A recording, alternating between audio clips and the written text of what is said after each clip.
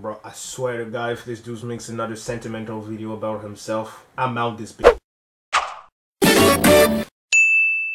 Hey, hey, hey, hey, what's up, what's up, what's up, what's up, y'all? It's your boy Super N-So, but call me N-So, cause I am not super. Unless you've been living under a rock for the past six months, you know that Trey Songz Oh and Chris- my god, Trey Songz and Chris Rock are bang! Trey Songz and Chris Rock are bang!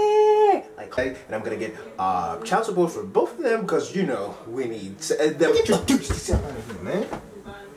Chris Brown and Trey Songz are touring together, coming to a city near you to snatch your girl out of your hand.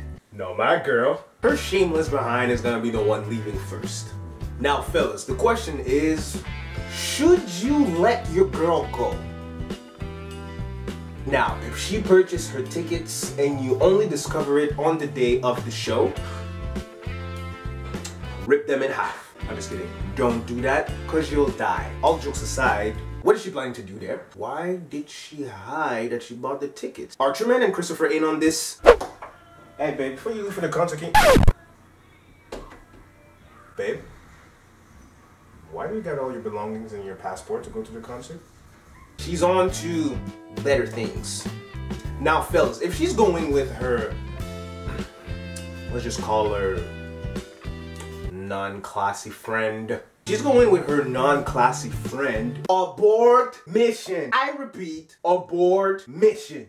Come on, guys, this is rookie mistake. You know damn well she's the one putting ideas in your girl's head whenever y'all beefing, talking about, girl, forget that little boy. Call Jose from the Dominican club. Oh, girl, I got these two twins. and I can introduce you one of them because, you know, one of them is like, babe, but uh, if you know that it's that friend that's bringing her to your concert, do not let her get out the house.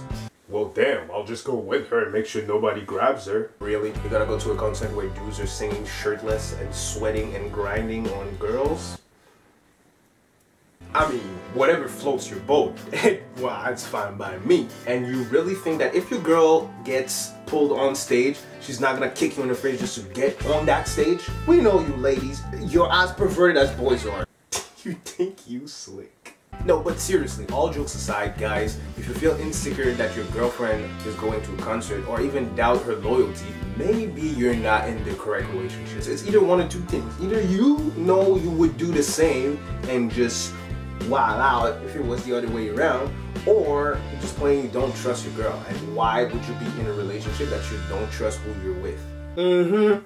That's right. That's right. Ladies, don't start to get loud because it goes the same way for you too. Say what now? Now, if your boyfriend wants to go to a party, no, it doesn't mean that he will bring a girl home and actually mess with her. And if he does, just leave. Because if you feel like you should hold something on your boyfriend, like knowing his phone's password, knowing all his social media password, this is dumb. This is pure buffoonery. If you feel like you need to have this kind of security, well, maybe you shouldn't be with that person in the first place. I don't give a damn if everything else is perfect, but you doubt his loyalty. It should be one of the foundation of the relationship. I know I'm preaching the obvious right now, but it seems like nowadays everybody seems to forget that one plus one equals two or three if you don't protect yourself. And guys, if really you feel comfortable that your girls can't go to the concert, try to bargain something out. So it's like a win-win situation for both of y'all. Hey, on this snow,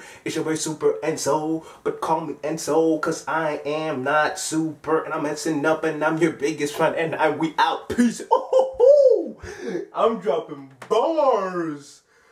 Bars.